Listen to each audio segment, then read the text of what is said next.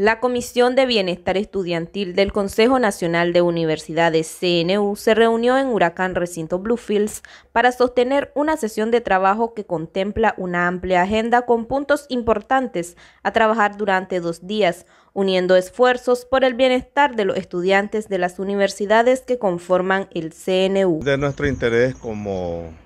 miembro del Consejo Nacional de Universidades que nos corresponde atender la Comisión de Bienestar Estudiantil, recientemente creada. Estamos, nos hemos dado cita el día de hoy y mañana en dos sesiones de trabajo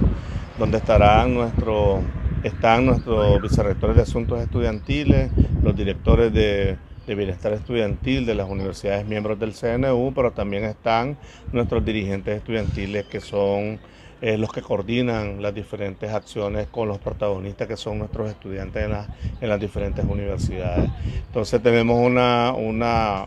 agenda bien planteada en la cual eh, acabamos de terminar un punto que es de nuestro interés, como desde, desde este eh, Secretaría o de esta de Bienestar Estudiantil le vamos a darle la atención a nuestros estudiantes que ya están en las universidades en el Pacífico y en coordinación con el gobierno, los gobiernos regionales vamos a, a realizar acciones y que todo esto sea, como el nombre lo dice, de un bienestar para todos nuestros estudiantes que están en las universidades en las diferentes carreras. En seguimiento a los convenios que se han firmado con el CNU y con las distintas universidades, incluyendo en este caso la Universidad Huracán, eh, estamos proponiendo, venimos a hacer un proceso en el que a partir ya de las buenas nuevas que les dimos a todos los muchachos de la costa caribe en relación al acceso a becas universitarias dentro de todos los recintos eh, de las universidades que conforman el, el CNU, eh, estamos en ese seguimiento, la idea de, plantear, y es algo que fue muy enriquecedor con todos los compañeros que conforman esta Comisión de Bienestar Estudiantil, eh, para el seguimiento efectivo de los muchachos y muchachas que ya están dentro de las universidades en las distintas carreras eh, que hay. Realmente para nosotros es muy importante como gobierno regional para atender a los muchachos y estamos seguros también de la disposición, de la disponibilidad de las universidades que conforman el CNU de poder acompañar a los muchachos y que en principio la deserción estudiantil, eh, podamos estar seguros de garantizar a los muchachos retornar a sus municipios y sus comunidades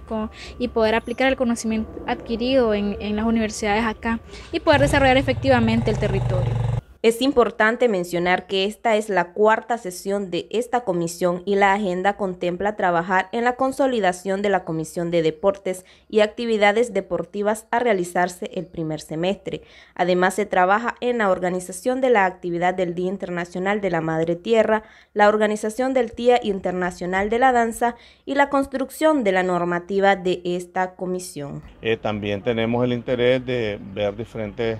eh, la, su comisión de deporte, la, su comisión de cultura, también vienen los Juegos Universitarios, la ratificación de los Juegos Universitarios y también la parte cultural donde todos nuestros estudiantes están inmersos y son los que realizan, son los protagonistas en diferentes acciones. La Comisión de Bienestar Estudiantil es conformada por los vicerrectores de Asuntos Estudiantiles, los directores de Bienestar Estudiantil y dirigentes estudiantiles de las universidades miembros del CNU. La cual forman parte los directores o vicerrectores de Bienestar Estudiantil de cada universidad miembro del CNU junto al presidente estudiantil de cada universidad